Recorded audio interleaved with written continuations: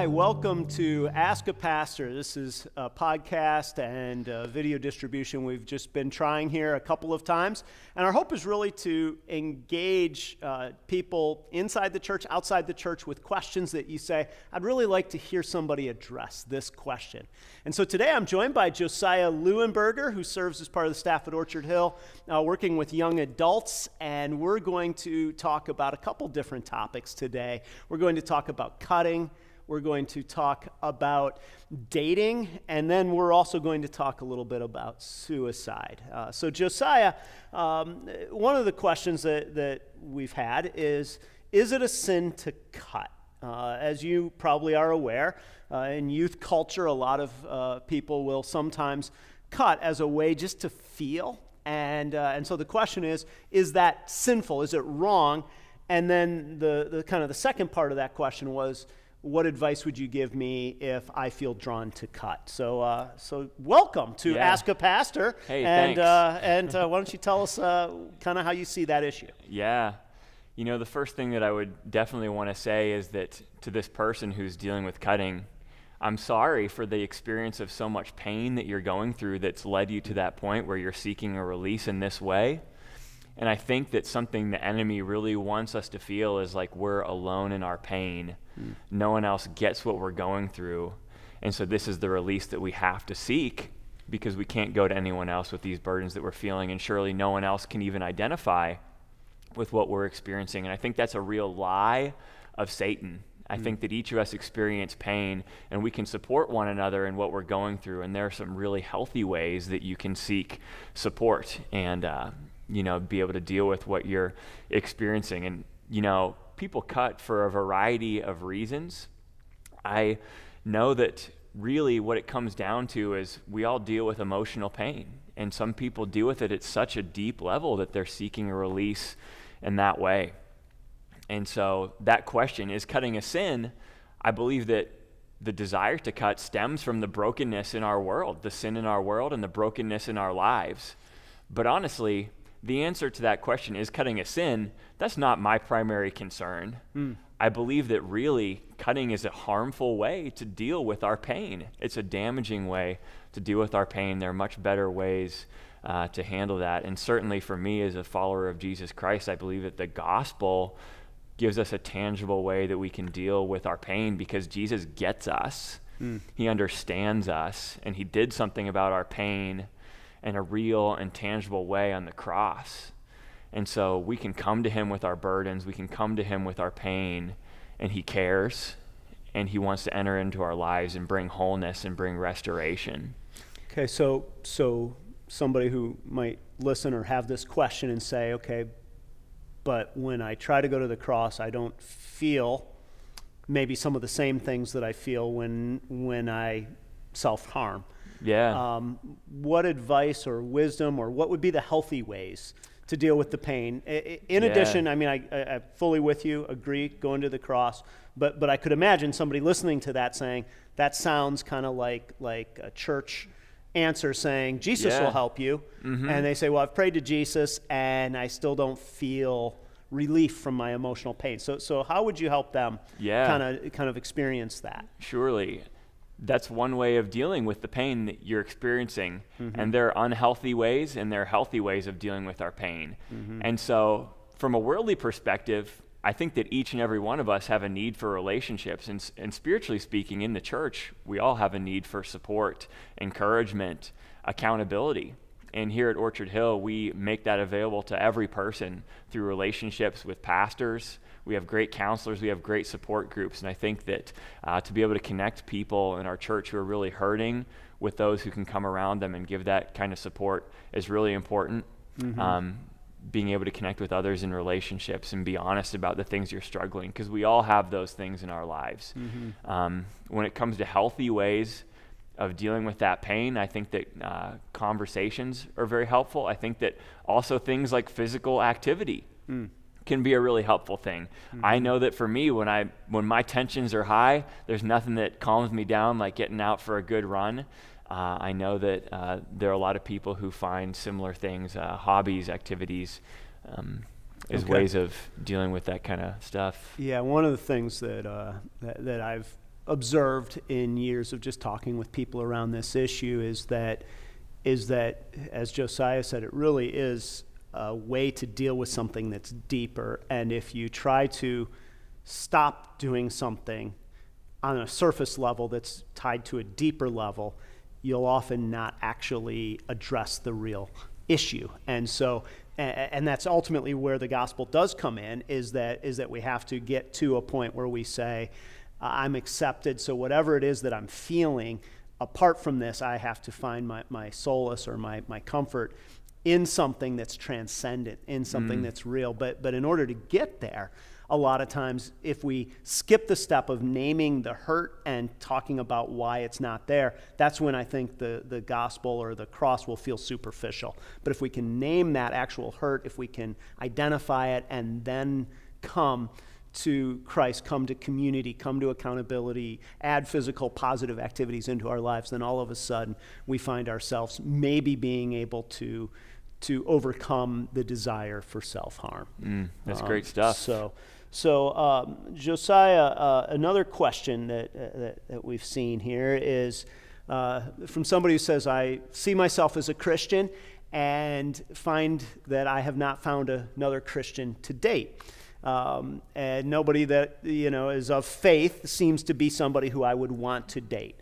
Um, so basically, help me think that through. So, so what would you say yeah. uh, to somebody who says, you know, I'd like to date a Christian, but all the Christians, you know, that I know are, you know, they don't comb their hair, w- whatever their their their complaint is. Yeah, the first thing I would want to say is I hear you, and I don't want to downplay that mm. desire hmm. that this person is experiencing, that uh, drive for a meaningful connection with another believer, and to be able to have that uh, personal relationship where they know they're really supported, cared for, loved. And uh, I don't want to sound cold in anything I would ever say in counseling this person because that's a really difficult and tough place to be. And I say that because my response is it's worth the wait. Hmm. No matter how hard it is, it's worth the wait because you need to have someone who can be there and support you and trust you um, not just as a person in your you know day-to-day activities, but in your faith, because our faith in Jesus Christ really saturates and informs who we are and what we do in every area, every aspect of our lives. Mm. And so I know it can be really difficult when you're not finding that relationship and you want it so bad. Mm-hmm. And uh, I don't think there's anything wrong with that desire. I don't think there's anything wrong with that drive to have a relationship but I would really encourage this person to be patient and trust that God has their best mm-hmm. in mind. Okay. Uh, you know, I think that sometimes we've heard of missionary dating, mm-hmm. and people wonder, hey, maybe a missionary marriage will work mm-hmm. out just fine. You know, here's someone who seems to me maybe like they're spiritually ripe. Yeah. And if I was to date them, they would get an understanding of what Christian faith is really all about, and I could be that influence in their life that leads them to come to Christ. And certainly, we want to see the people in our lives who are meaningful to us. Uh, we want to see everyone come to know who Jesus really is. But to date with that intention that you're going to convert someone and then you'll have that Christian husband or wife that you've always desired. Right. I think that's really dangerous. Yeah. Yeah, yeah. A lot of times people will, will think, well, I'll date this person, maybe they'll come to faith, and if not, maybe it's not that big a deal. But to enter life with somebody who doesn't hold what you hold to be at the same level of importance is really to ask for pain in your marriage. And, and so I think that's what you're talking about, and that's, that's a good thing. You know, one of the other things that, that I would add here, Josiah, is that it's significant not just to wait. I think that's awesome advice just to say, you know what, uh, pay attention to the fact that God's timing may not be your timing, and, and it is worth the wait. Also, a few months ago, I did a message, and one of the points that I made was that being single is honorable. And I was amazed at how many people emailed me, had conversations with me, just to thank me for making that point. And I made it from the scripture. I think it was in our Ruthless series, if you want to go back and take a look mm. at that. But, uh, but, but the, the, the point that I'm making is that even maybe before we say it's worth the wait, is to say, I'm okay being single if that's what God calls me to. Because if I'm okay being single, then I'll be a better boyfriend, a better girlfriend, a better husband, a better wife. But if I'm if I'm uh, making that something that I have to have, then what I'm doing is I'm elevating it to a level of idolatry in my life, and I'm and I'm in many ways um, showing that I'm not healthy enough to be in relationship um, because I'm not okay being alone. And and so I think there's uh, now, what's hard about that is when somebody says, Well, I'd like that to be true of me, but it's not true of me. What I really want right now is to date somebody, and I'll take somebody, anybody, if they're cool. I don't care about their faith. And, and, and I think what, what's important there is just to keep coming back and saying, saying it may feel good now, but, and, and that's just what you were saying, but that's where down the road it will not play out well. And one of the things I can say, I've, I've watched a lot of people um, date and marry somebody that they said wasn't quite there spiritually. And, and one of the things that's, that's always true in, in people who get married is what you think will be an issue and think is a small issue usually becomes a bigger issue later once you're married. And so to think that things will change for the positive is usually just wishful thinking on that issue. So, so thank you, Josiah. Here's, here's yeah. one other uh, just question that that's kind of come up. And this one's uh, maybe a little deeper, and, and that is uh, just saying, what do I do if I come across a friend who is suicidal. Now, you know, sometimes when people ask the friend question, you say, well, are they, are, are they asking for themselves or are they asking truly for a friend? But, mm. but let's just for a moment assume that this question is truly about a friend. What do you do when, when somebody hints at, at taking their own life as a friend? Yeah. First thing I would say to them is thanks for caring enough mm. to let me know that you're struggling to this extent. Mm-hmm. Because there can be a real temptation with suicidal ideation to hide and say, mm. This is so messy that I can't let anyone really know what I'm going through. And so I've got to sort this out on my own. And that can take people to some really dark places. And so I'd thank the friend for caring enough to really bring you into that. Mm-hmm. I think probably the most important thing you can do for them is to listen and to hear them and to be there for them. There can be a temptation for me when I've counseled people who are going through these times where they're really struggling with suicidal thoughts to feel like I've got to give them the perfect words. Mm-hmm. And that's a lot of pressure to put on ourselves. Really, what they need is someone who cares and someone who is willing to listen and just be there. Okay. And when is it time to let somebody else know. Yeah. And to make sure that you're not bearing that alone. Because yeah. I, I know for me, one of the things that, that I don't feel qualified to do is to assess who's taking it, like how serious are they? I don't feel like I have that expertise. Yeah. So, so, so when, when do you say, this isn't enough for me to listen and, and encourage, but I need to actually help them get help? Yeah. I think as soon as they open the door to the conversation to discuss, you know, the challenges that they're processing, that's when we say to them, because I care for you, I want to bring some more people into this conversation mm-hmm. because we all need a team around us to help us out when we're going through difficult times. And certainly in contemplation of suicide, there's a need for someone to have a pastoral relationship. There's a need to bring in counselors, uh, family members, and even a physician uh, to mm-hmm. assemble that team around a person to say, hey, God has made us as physical, spiritual, and emotional be- beings, and we need to be cared for, you know, with our complexity in consideration. Okay. So, what if they say to you, I don't want anyone else to know? Yeah. Let me put that back to you, Kurt. What would you say? I get asked the questions here. Um, it, well, a couple things I would say. Um, first of all, I would say anytime somebody prefaces something they're going to say with, I'm going to tell you something, but nobody else can know, before you let them tell you what they're going to tell you, say, hold on a second.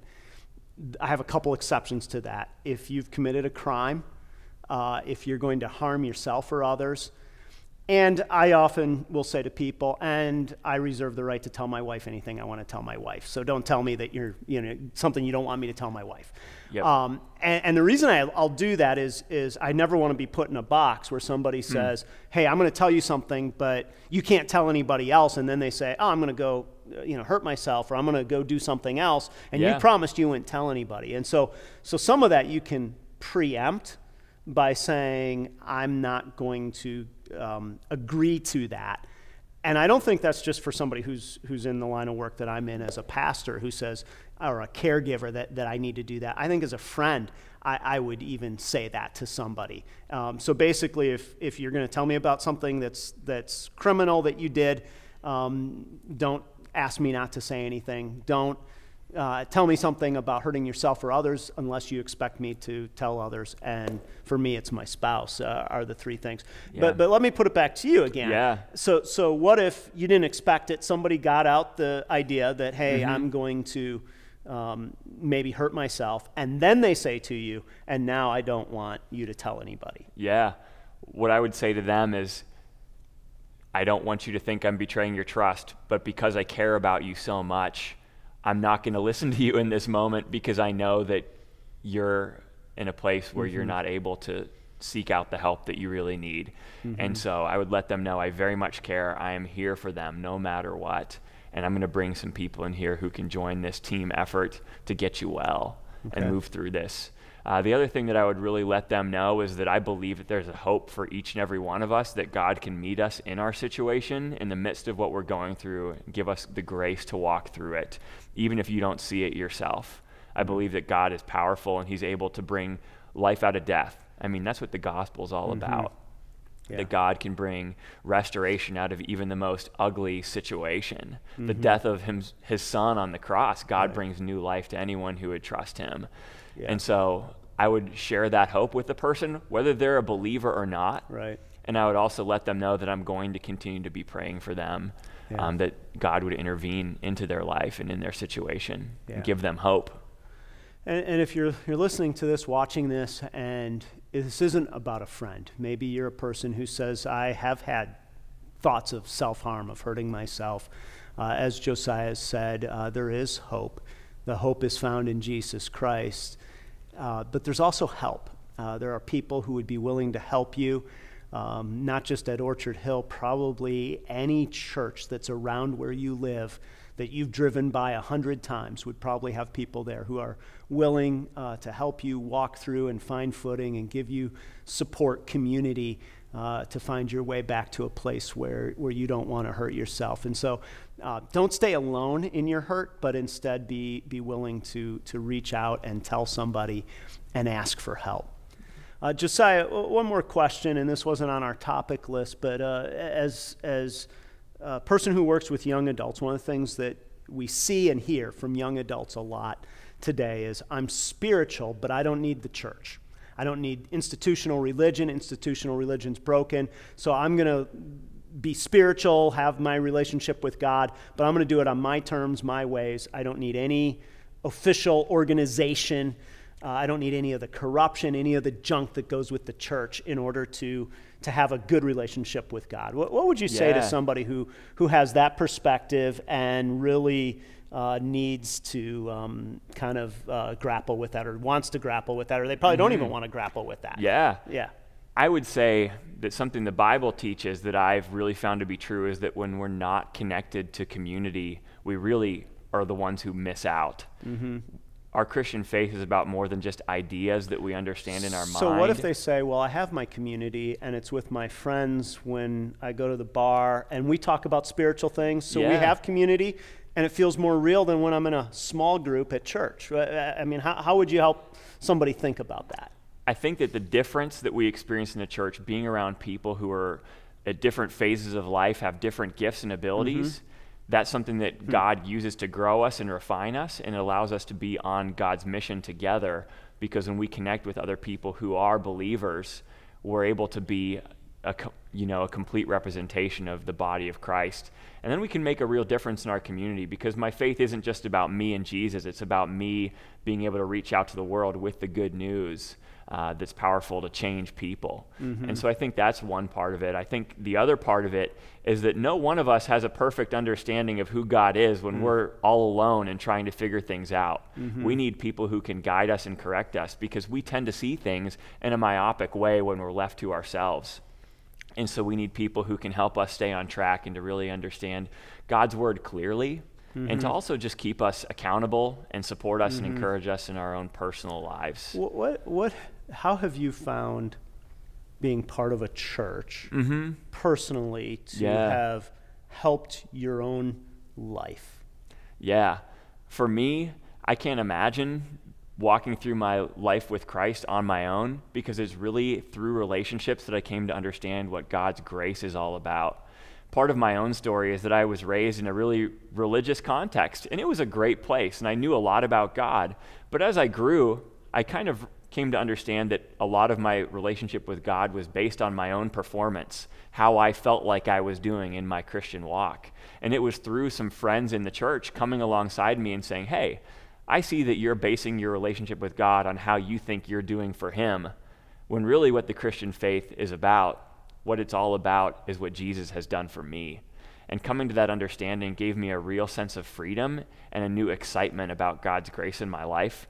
And that's not something I ever would have mm. figured out on my own. Mm. It was only because of people who really knew me and people mm-hmm. who really cared about me that they could speak that word of truth to me, which is absolutely mm-hmm. from God's word and it's not something I would have picked up on my own. Mm-hmm. And so I thank God for Christian community and the way that He's grown me and my understanding of His grace through being connected in relationships in the church. Yeah, thank you. You know, if uh, if you're still listening to this and you have been a person who says, you know, I can be spiritual without church. In many ways, you're right. Um, you don't have to go to a building in order to hear teaching, to worship to read your Bible, to pray, to consider yourself somebody who's a follower of Jesus. But in many ways, what, what church is, is it's an opportunity to come together with other imperfect people and do life together. And, and there's two important facets of that, that that really move us from simply saying I'm part of a religious organization to something that's life changing, as Josiah was talking about. Well, one is we move from being simply a consumer to being a contributor. And, and what I mean by that is, is if we're always saying, I just pick when and where and how I receive any input, we're nothing really but, but consumers, and we're treating our spiritual life like we treat any other entertainment or, or kind of environment. And there's something about moving into a space where we say, I'm part of something, not just for what I get, but to be a part that actually lets it become more real. And then the second part, and, again, Josiah alluded to this, is really that then when we find ourselves in some of the key moments, and what we've talked about in this uh, podcast here today is we've talked about the idea of cutting, self harm, of suicide. We've talked about dating and feeling alone, all things that that, that if we approach them purely to say, how can I get the help I need? We won't have the help we need unless we've invested when we didn't need the help a lot of times around people mm. uh, who will then be able to walk with us. And, and yeah. so there is a payoff to us personally, but, but it's often by saying, I'm going to put my feet in a place and be part of a place, whether or not I, I feel that or experience that. So we're going to have to leave it here. Uh, Josiah, yeah, thank you for thank joining you. us. And uh, if you have questions, you can send them to ask a pastor at orchardhillchurch.com, and we will try to address your question uh, in a future episode. Thank you. Have a great day.